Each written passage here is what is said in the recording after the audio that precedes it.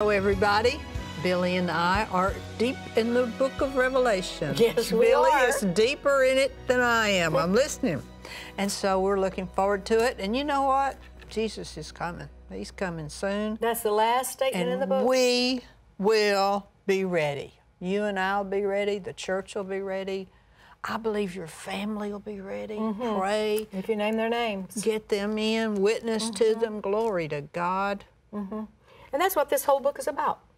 The bottom line is the back, last statement. He comes quickly. Quickly. Amen. And so he, he's speaking to the churches. He has a message for them. Um, and he begins to speak now to these seven churches which are in Asia. Uh, chapter 2 and verse 1. Unto the angel of the church of Ephesus, write. Ephesus was the church that Paul gave the highest revelation to. In the book of Ephesians, that's written to the book of Ephesus. They are the church, the assembly that has the revelation that they have been raised and seated at the right hand of the Father. There is no higher revelation given to any church in the New Testament letters to the churches than the book of Ephesus, than the church at Ephesus. Uh, Timothy had been the pastor there. Uh, Paul often was there. My. And uh, then uh, John had been the pastor there. So they've had the highest of all revelations. Isn't that we, we, we, as we look at these churches, we remember the key that was given to us in chapter 1. Write the things which you have, the things that are past, the things which are present, and the things which shall be afterwards. Now, these seven churches, seven assemblies, they're not all the churches there were, they're not all the regions there were, but they are symbolic. And uh, they're churches that were in existence at that time. It's these things that are. Now, there is quite a bit of study into are these churches prophetic? Is it the history of the church told uh, from that time in the future? Now, who had been there? I, I want to write my margin. Uh, okay, Paul, John. Paul had been there. He gave, you remember in the 19th chapter, he went there and he found these Ephesians and he said, Have you been baptized in the Spirit? And they said, We haven't even heard there was a Holy Spirit. And so then he, he spoke to them. They were baptized in the Spirit, and that was a regular place that he went to. And he gave that high revelation, that letter, the Mm. book of Ephesians is written to them. All the high book of Ephesians, the book that tells us God's plan to manifest uh, himself uh, to, the, to the heavenlies through the church. Praise and that's the book that tells that God raised Jesus from the dead and seated him on his Mm-hmm. own right hand. And when he raised him, he raised us, he quickened us and raised us and seated us with him. That's the book that tells us about the armor of God and prayer. The highest revelation Praise God. of any revelation to the churches of the New Testament was given to the church at Ephesus. Timothy was its pastor at one time. John was a pastor. Now, uh, to this church, which was then existent, and um, some people say that these churches are the history of the church told in the future. I've studied this out. I read Clarence Larkin. He's got this church covers year from this year to that year. This church covers from this year to that year. You can get his book on Revelation and see. Um, personally, I can't just see that this is from that period to that period to that period to that period because I know that he's coming for a glorious church. In Ephesians 5, it says he's coming for a glorious church. So I do see that in these churches that were then existent, we find messages for ourselves, and possibly they mm-hmm. are prophetic. I don't know. I'm not the expert on that. But in every one of these churches, we can see things that can benefit us. Number one, to every one of the churches, Jesus said, He that hath an ear to hear, let him hear what the Spirit is saying unto the churches. So that tells me that the Holy Spirit is constantly speaking to the churches. And He, every individual, as well as that assembly, is called upon by God to hear what the Spirit is saying to the church. The Spirit, the Holy Spirit, no one has been this way before. I say this sometimes when I'm speaking to a group of pastors. No one ever pastored a church in this hour before. So you have to hear what the Spirit is saying. You have to be a lampstand for the Holy Spirit, for the light of God, each assembly. And you cannot do it trying to be like the world. That's right. We're not to adjust to the world. No. We're No, called no, to come out from that, to be connected with those heavenly lampstands before the throne of God, to have the Spirit of God manifest Himself as a light. And sometimes I'm, I'm saddened by what I see in our assemblies. Sometimes I am, Gloria. And I I don't want to be a judge. But I know that to be to draw the world, we have to give the light. We have to give the light of the Holy Spirit. We have to have the manifestation That's of the gifts of the Spirit. We don't shut them off and try to be like the world. Uh, we're not called to entertain. Uh, I enjoy wonderful music and wonderful singing, and sometimes we do have uh, anointed drama that gets a, a point across. But we're we're called to to manifest God's light and power. And Jesus. Now think about it. This was written in the year 96. He was raised from the dead and, and, and, and went into heaven 60 years before. He's come back, he's left the church, and 60 years later, we already see signs of leaven. We already see signs of danger in the church. Why? There's an enemy. There's an enemy of God. He sees this great body of Christ being built in the earth, and he fights against it. And he fights against it. We see ways here that he fights against it. But in every one of the churches, to every one of them, he said, He that hath an ear, let him hear what the Spirit says to the church. And to every church, he says, To him that overcomes, I will give such and such. In every one of those churches, even the worst ones in the worst shape, there were overcomers. And in every one of them, he urged that church to overcome. And then the Bible says faith is the victory That overcomes that overcomes the world. the world, the flesh and the devil. That's right. And he said to every one of these churches, he started out with what was good about them. And then, and, and, and uh, the Lord, the Bible says that he, the he that he loves, he's going to correct. If you don't love your children, you let them go to the devil. That's you don't even care. But if you love your children, you want to train them up. And so he corrects those. And he correct those churches that needed to be corrected. And then he told them, You overcome. The devil hates this book because it shows his ultimate, That's ultimately being overcome. And each of the churches are told to be an overcomer. And it tells how to overcome. Yes. And that, that uh, Greek word translated overcome is uh, nikeo, N I K E O, and it means conquer. So we're never to be conquered, we're to conquer. And Jesus comes in these early days to give messages to the churches. And so we see him in, uh, in the second chapter unto the angel of the church of Ephesus. Write. These things saith he that holds the seven stars in his right hand, who walks in the midst of the seven golden lampstands. So he, even today, we went into this yesterday, he's in our midst when we meet. There's one church that he wasn't in the midst, he was outside. But he still said, I'm knocking on the door trying to get in. Yeah. Mm-hmm. So he's, he, he wants to be in your church and in my church and welcome there. And I want to be in that church. I want to be in that church that he's in. Yes. Amen. I mean, otherwise, you got, why waste your time? So he said, I know. He knows things about his churches, his assemblies. I know your works and your labor and your patience and how you cannot bear them which are evil. And you have tried them which say they are apostles and they're not. And you found them liars. See, the devil sent them in. Oh, we're apostles. We got this message. Da da da da. But you found out no. And you have borne and you have patience. And for my name's sake, you have labored and have not fainted. I want to go back to uh, the book of Acts. When Paul was saying his goodbye um, for the last time to the church. and he told them when he visited them, he said, You watch and take heed to yourselves because wolves are going to come along.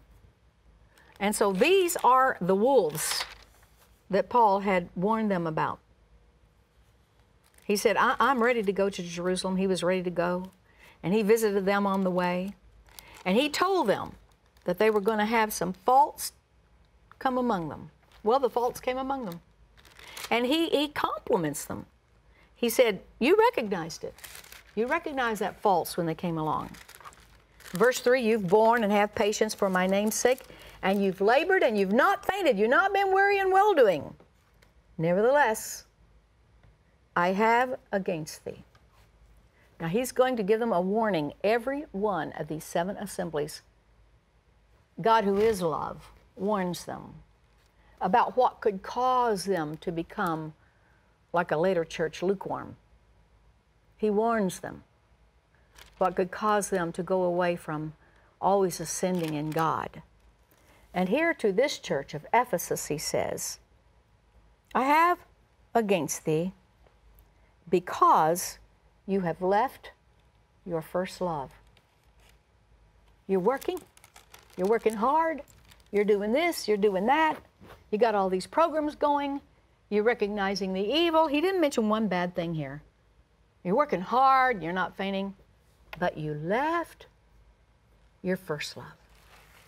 Who is our first love?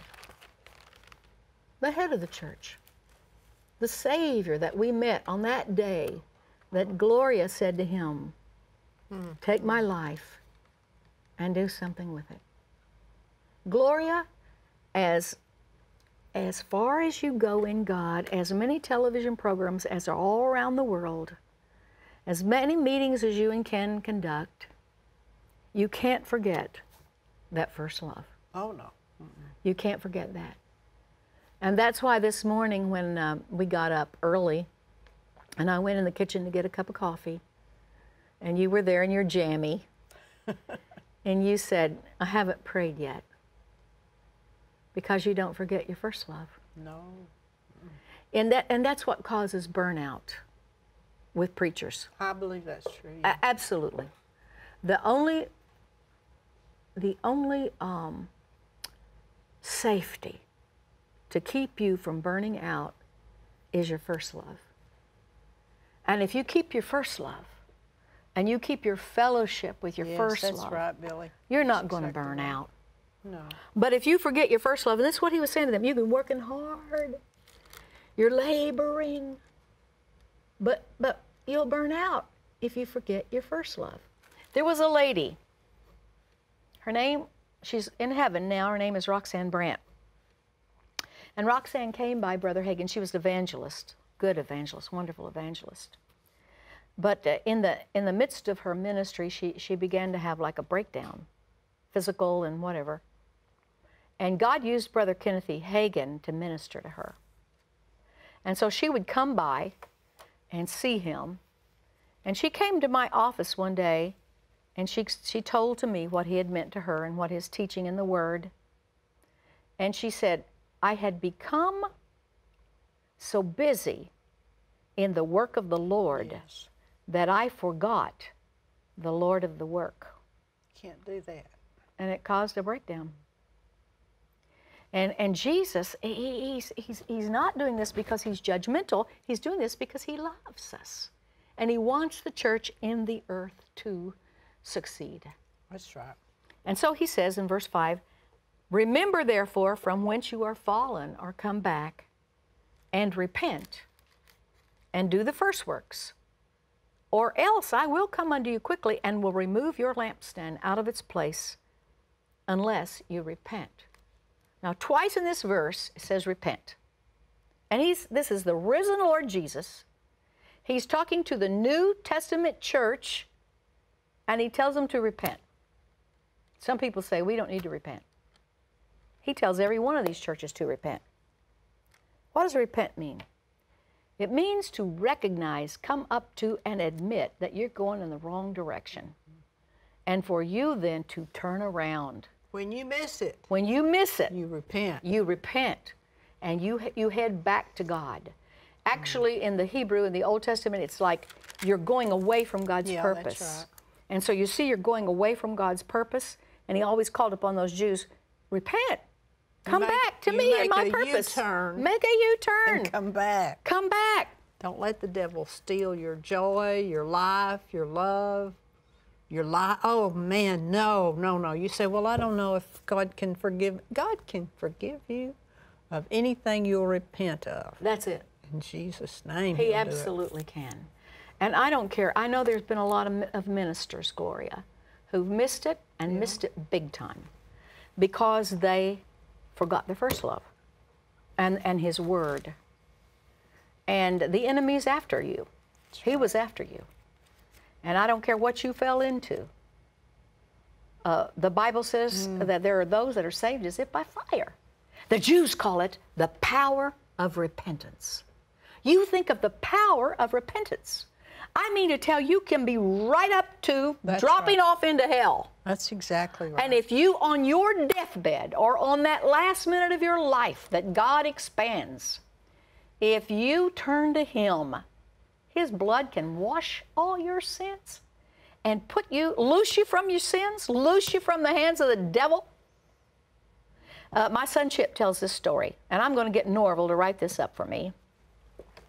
Uh, I had sent Chip. Chip uh, Norvel was doing a meeting for us in Collinsville, Oklahoma, at our church, and uh, Chip and his new wife Candace uh, went by to get Norvel each day. He was staying at Brother Hagin's house and bring him to the meeting, and Norvel would just teach him all the way. And Norvel told Chip about a time that he was um, preaching for Brother Hagin at camp meeting. I believe it was. It might have been at Brother Hagin's Rhema Bible Training Center. And Norvel got word that a man in Cleveland, Tennessee died. And he was the meanest man that all of Cleveland, Tennessee knew. And he, his family, his mother and his father, they were mean too, and they were ungodly. And so Norvel is standing up at Brother Hagin's and he's teaching, and he's going to use this man as an example. And he's encouraging the people to live their lives in such a way and give their lives to God, lest they go to hell like this man. Suddenly, Norvel is knocked out, hmm. cold dead. He's knocked out on the platform. And the, and the audience, you know, they get to see. I mean, the preacher just fell out. He, he's- he can't be revived. And Brother Hagin knew it was God. And Brother Hagin said, just leave him alone.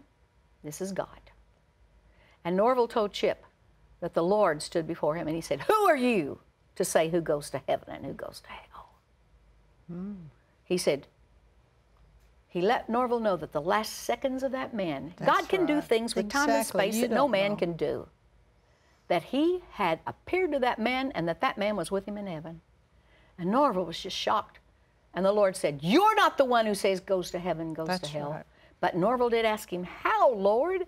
He said, His grandmother's prayers. I mm. appeared to him on the on the basis of his grandmother's prayers. So if you've got someone that you know. don't think is ready to meet God, you lift them up in prayer. The Lord told Sister Jeannie Wilkerson, don't don't tell people, don't feel bad that I'm coming soon. Don't feel bad that this book of Revelation, you, he said, every name that you name to me in prayer, I'll see to it that they make it. So your business now is your priesthood. God. You be the right. priest. You lift up the name to the Lord. You're a kingdom of priests, a royal priesthood. Glory. And so the Lord told them, He said, Repent. Get back to your first love. Spend time with me every single day.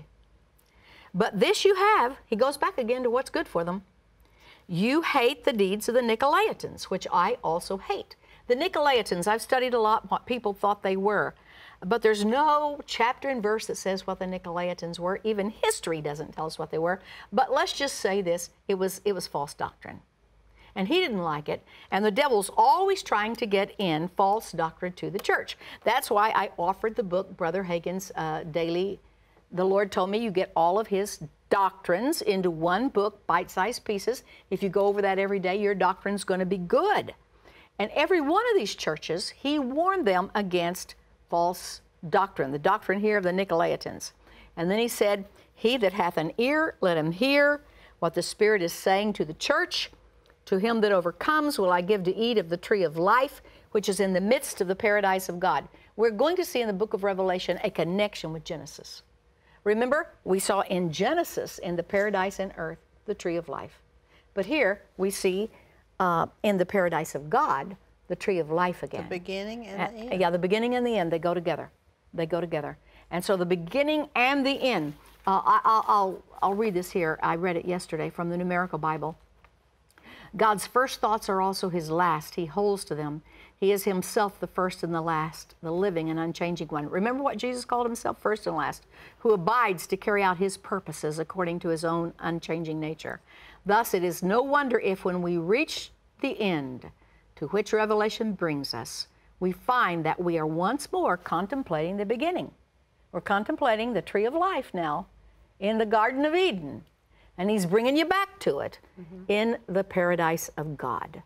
The beginning is now seen from the end in the book of Revelation, as indeed we see that the end was shown from the beginning. Remember what God said to, uh, to Eve? He said, the, woman, the seed of the woman is going to trample him. Yeah. So we're going to see uh, prophecy brought to fruition here in the book of Revelation.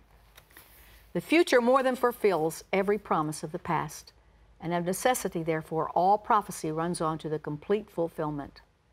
And what we're going to see here in the book of Revelation is the complete fulfillment of all the prophecies of the book. Praise God. Glory to God. Praise Thank the Lord. Jesus. Hallelujah. Glory to God. I'll, I'll, finish that thought too. All right. Um, all prophecies run on toward the close. It, it, in prophecy, there can be a, a types and shadows, there can be partial fulfillings, but in the book of Revelation, it's going to run on to the fullness in the close. In a book like Revelation, all the prophecies of the Word of God run together.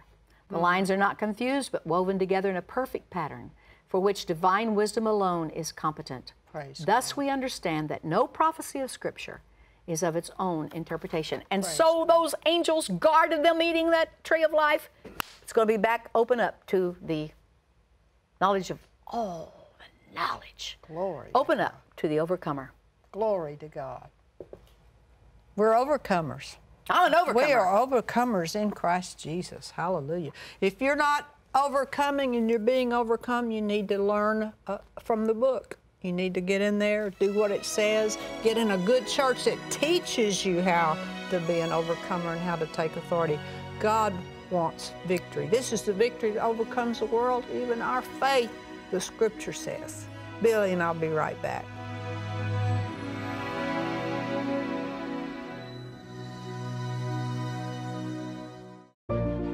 Over the past 45 years, Brother Copeland has produced 33 musical albums and been honored with a Grammy nomination for the song Only the Redeemed. For Kenneth, using music as a vehicle to spread God's Word was natural.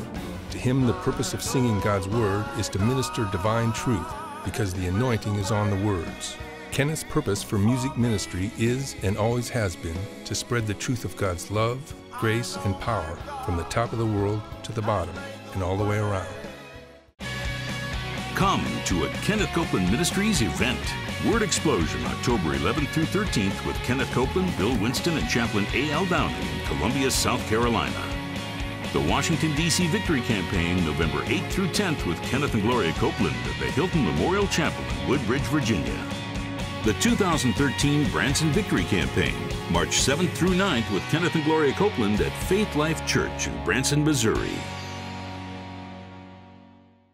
In the book of Acts, chapter 10, first verse, there was a certain man in Caesarea called Cornelius, a centurion of the band called the Italian band. That means he was over 100 Roman soldiers. But he was a devout man and one that feared God with all his house. He was stationed there in Caesarea among the Jews and he observed things that he liked. And he gave much alms to the people. Alms are offerings, and the people are the Jews. And he prayed to God always. He saw in a vision, evidently about the ninth hour of the day, an angel of God coming to him and saying unto him, Cornelius? And when he looked on him, he was afraid, and he said, What is it, Lord? And he said unto him, Your prayers and your mm-hmm. alms Yes. Are come up. alms. For a memorial before God. We have biblical evidence that our prayers come up before God and our giving comes up before God. Glory to God. And I'm reminded of one of the greatest examples is Grandma Martha. Oh, yeah. And remember, we, we met her granddaughter when we were in California. Grandma Martha uh, wa- had been a, sl- a child of a slave. And Grandma Martha couldn't read or write, but it fell to her to raise about six of her children, grandchildren. And, and the lady that told us, her, one of her grandchildren, she said, sometimes we wouldn't have anything. But Grandma Martha, she would, she would say, she was a great prayer. And she said, Lord, we'd sit all around the table. You know that these children don't have any food. And I know that you know that these children don't have any food. And what's more, you know that I know that these children don't have any food. Now, what are you going to do about it? And she said there'd be a knock on the door and food would mm-hmm. appear. One time she told the Lord the same thing about these children are cold. And while they're sitting there C O L D cold, the man with a coal truck, C O A L, Yes, dumped coal into dumped the it in furnace. the But yard. Grandma Martha, every morning she got up, every morning, and she would give something to the Lord. Sometimes she didn't have anything but a pretty rock she'd found or a button. Sometimes it was a penny. But she'd put that up on her bureau and she'd tie it up in a little handkerchief and she'd wave it before the Lord. God. Grandma. She'd lay it up on that bureau, and then she'd go to church on Sunday and she'd gather up all her little offerings that she'd given up to the Lord in prayer. She'd dance into the church in victory. Hallelujah. And she'd say, The dead ought to be raised. Your That's right. go up before the Lord. If you give today to this ministry, God. your alms and your prayers will go. You can't buy things from God, No. but they go up before the Lord. Hallelujah. Father, we pray over every offering today. Thank you for reminding Thank me you, about Lord. Grandma Martha. She always has been such a thrill to me. And we pray over the offering. We pray blessing on the people in the name of Jesus as they sow. They reap as they give. It is given to them, good measure, pressed down, shaken together, running over, shall you receive into your bosom. Thank you, partners. Go to church this weekend. Billye and I'll see you soon. Jesus is coming. Hallelujah. And He's Lord. He's Lord. Jesus is Lord. Thank you for joining us on the Believer's Voice of Victory. For more information on Kenneth Copeland Ministries, visit kcm.org.